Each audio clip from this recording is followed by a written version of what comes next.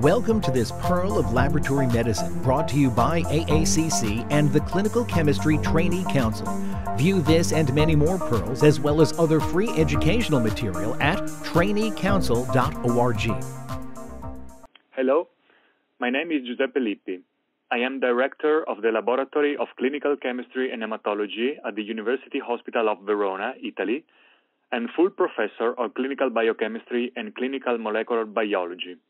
Welcome to this Pearl of Laboratory Medicine on Coronavirus Disease 2019. A new viral outbreak has recently emerged in Wuhan, China, and is now spreading all around the world. As for March 80, 2020, more than 105,000 people have been affected from over 19 countries, causing nearly 3,600 deaths, though numbers are still exponentially growing. This new viral epidemic has been recently defined as coronavirus disease 2019, abbreviated to COVID-19, and is sustained by severe acute respiratory syndrome coronavirus 2, abbreviated to SARS-CoV-2. Molecular analysis has revealed that SARS-CoV-2 has most probably originated from recombination of a bat coronavirus, which has been then transmitted to humans. COVID-19 outbreak is the third documented spillover of animal coronaviruses to humans during the past two decades, after severe acute respiratory syndrome in 2002 and Middle East respiratory syndrome in 2012.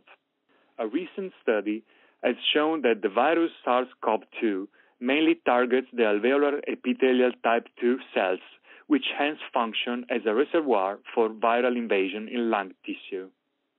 Information on the more representative clinical feature of this syndrome are obviously still accumulating, and it cannot be excluded that the virus may interplay differently with human genetics and epigenetics.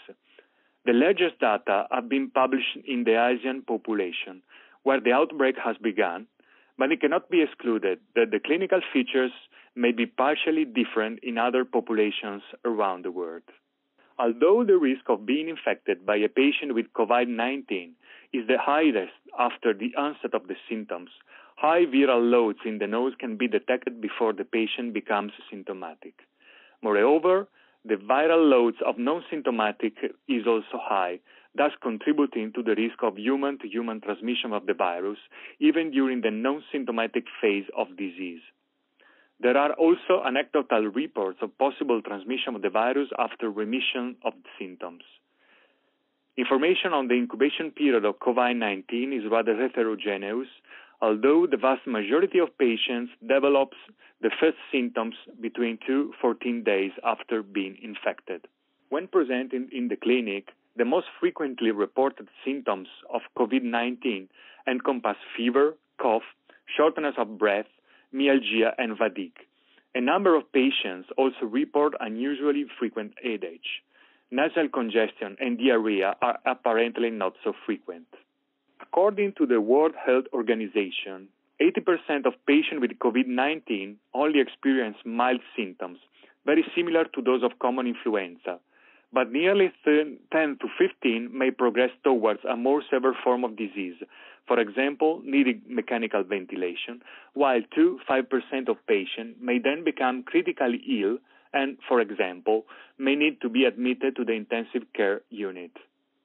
According to the World Health Organization, the risk of developing a severe form of COVID 19 seems to be higher in elderly patients and in those with important comorbidities, such as diabetes, cancer, cardiovascular, and chronic respiratory diseases.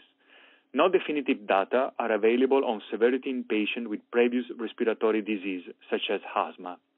The recent statistics of the World Health Organization indicates that despite the number of people that can be infected by a positive patient is higher for COVID-19 than for the previous two coronavirus syndromes, SARS and MERS, the pathogenicity of COVID-19 appears to be globally lower.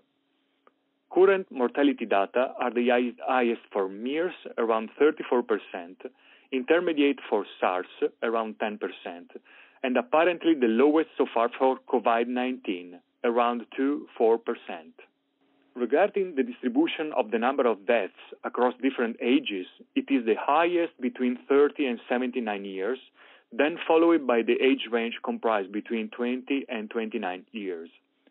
Data garnered so far attest that COVID-19 may only produce a mild disease in children, which is then reflected by the low mortality rate.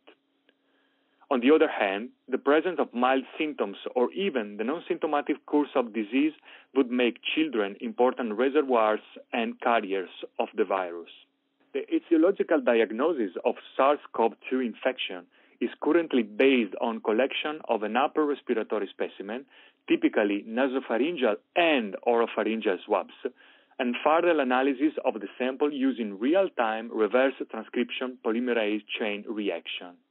A validated diagnostic workflow for detecting SARS-CoV-2 in Europe is based on sequential RT-PCR assays encompassing analysis of e-gene as first-line screening assay, analysis of RD-RP gene as confirmatory assay, and analysis of N-gene as additional confirmatory assay.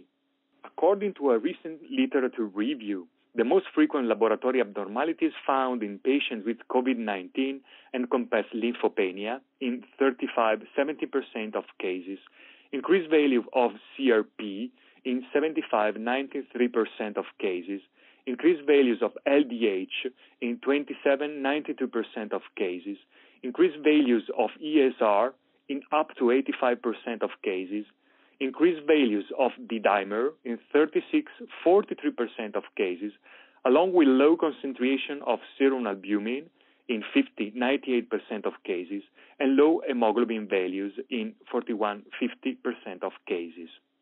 According to a recent literature review, the most frequent laboratory tests that predicts progression towards severe forms of COVID-19 include decreased values of hemoglobin and albumin, as well as increased values of neutrophils, LDH, aminotransferases, cardiac biomarkers, especially cardiac troponins, D-dimer, procalcitonin, and C-reactive protein.